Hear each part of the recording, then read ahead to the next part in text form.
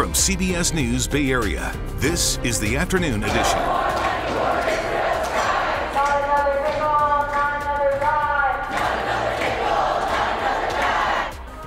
Right now on the afternoon edition, breaking news dozens of pro Palestine protesters block security gates and take over SFO. Good afternoon. I'm Elizabeth Cook in for Ryan Yamamoto today. The protests impacting travelers at the international terminal. Let's get right to Max Darrow live at SFO. Max, what can you tell us?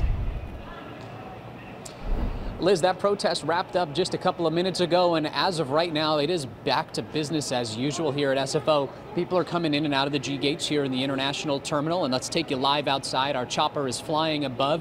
You can see traffic moving in and out of the international terminal as if nothing had happened here.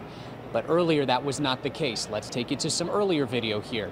This will show protesters blocking the entrance to the international terminal. Cars could not come in or out of the area. Passengers were rerouted through other parts of the airport.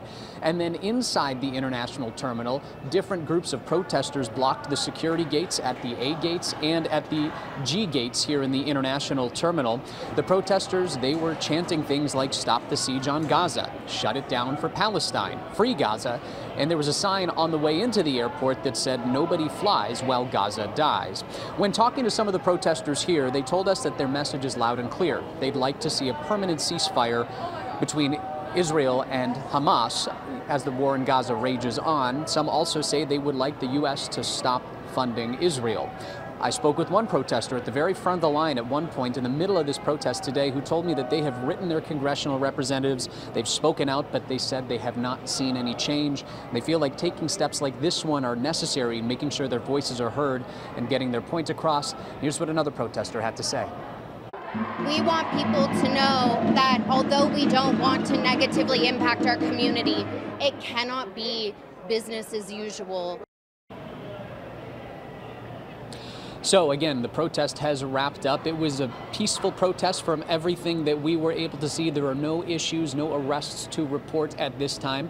There was a hefty law enforcement presence here with personnel from multiple different law enforcement agencies.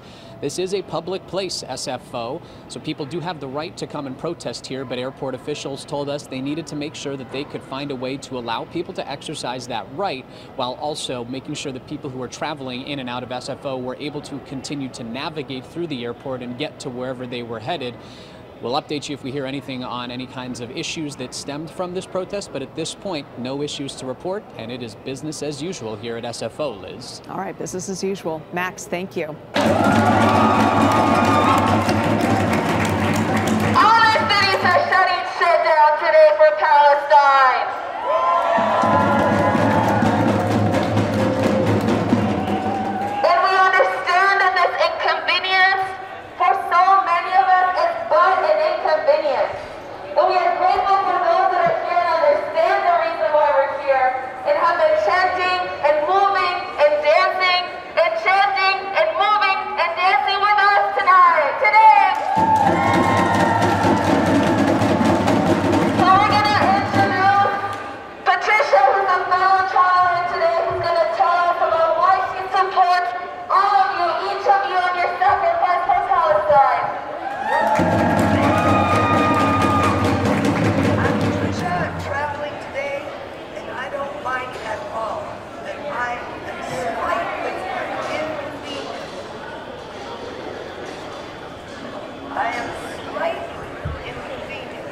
So my trip doesn't go exactly as planned, but I still have